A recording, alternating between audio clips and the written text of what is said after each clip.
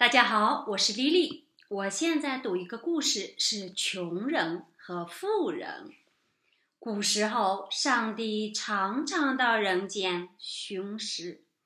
一天，他要找个地方过夜，见前面有两栋房子，一栋大而漂亮，一栋小而破旧。上帝先敲大房子的门，问。我能在你家住一晚上吗？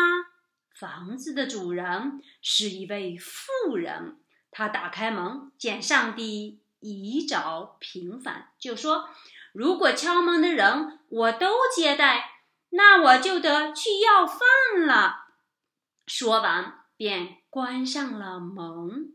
上帝转身走到破房子那儿，穷人立刻把他请了进去。热情地说：“留在这儿过夜吧，天已经黑了。”穷人和他的老婆真心实意地拿出所有的好东西招待他。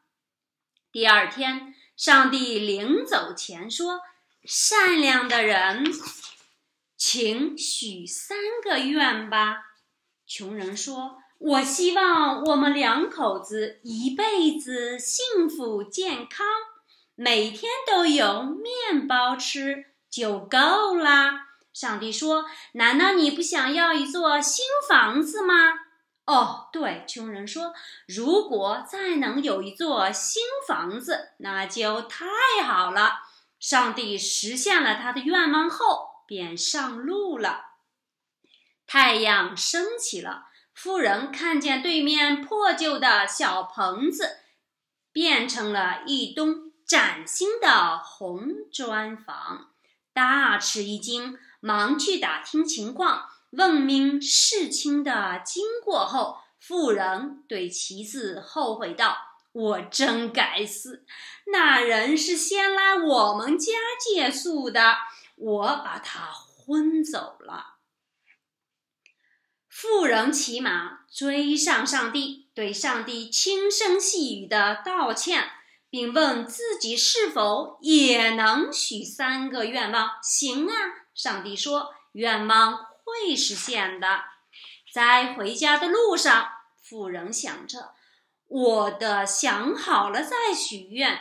忽然，他骑的马缰绳掉了，马边走边跳。妇人大吼道。真希望摔断你的脖子！话音刚落，马倒地死了。妇人舍不得扔掉马鞍，就扛在肩头，在沙漠上走着，累得他气喘吁吁的。他想到老婆在家里过得那么轻松，心里别提有多恼火了，稀里糊涂的说出声来：“真希望。”他坐在这马鞍上下不来，结果他回到家，老婆坐在马鞍后怎么也下不来，又哭又闹，大骂妇人傻瓜。这样一来，妇人不得不许最后一个愿望，让老婆从马鞍上下来。最终，妇人除了劳累和羞辱，并且损失了一匹马外，一无所获，而穷人却快乐安静的生活了一辈子。